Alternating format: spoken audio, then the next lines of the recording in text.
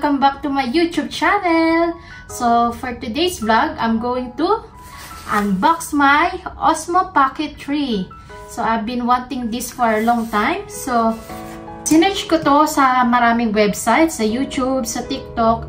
So, this camera, marami siyang um, nagagawa from vertical, horizontal. So, come on guys, um, I'm unboxing this for today's vlog! So, ito guys. I-unbox ko siya. So, in-order ko to sa JB Hi-Fi online. Kasi uh, wala ditong stock dito sa Canberra. JB Hi-Fi. So, um, nag-search ako sa online at in-order ko siya um, to, from Sydney to Canberra. So, dumating lang siya for um, one, two, ay, one day um, from Australia Post. So, ito na guys. Bubuksan na natin. So, guys, matagal ko na tong um, gustong bilhin kasi maganda yung camera niya na napanood ko sa YouTube vlog ng iba. So, malinaw.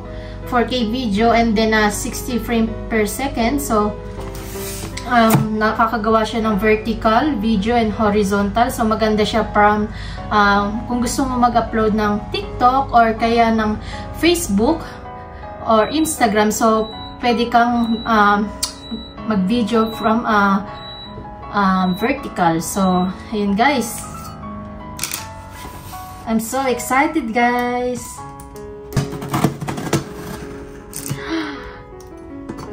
Wala pa. Binubuksan ko pa yung box guys. So, ginamit ko tong kutsilyo. Wala ko pang bukas ng proper na cutter.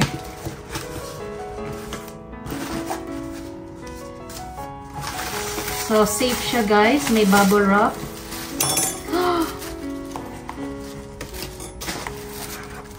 And ito na guys. Ito na yung uh, matagal ko nang gustong bilhin na camera for vlogging. So, itong uh, Osmo Pocket 3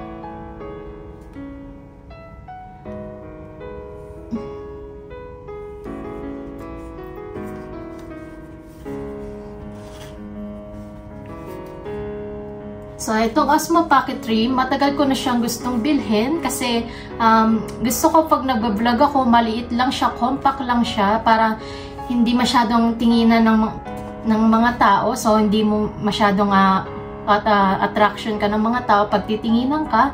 So, ang pinili ko Osmo Pocket 3, maliit lang siya at pwede mo siyang malagay sa um, pocket ng bulsa mo. So, ayun guys. So, I'm gonna unbox now guys. So excited!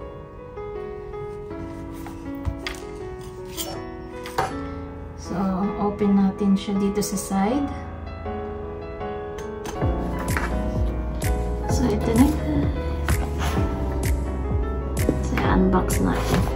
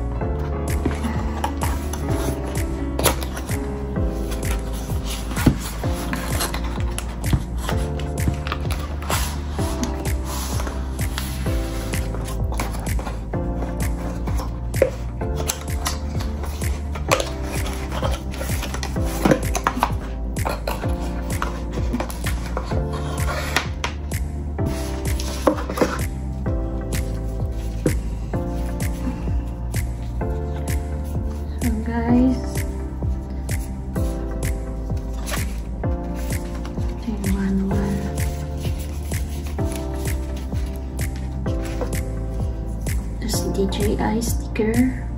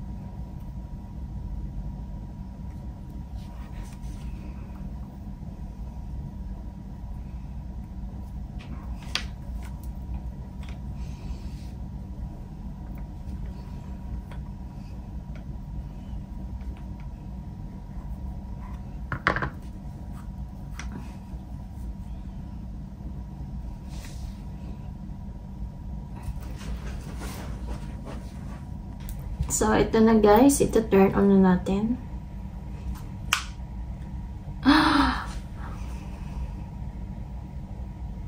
DJI Osmo Pocket 3. So, attach na, uh, ita-touch ko yung English. And then, kailangan ng scan. So, ang ganda guys.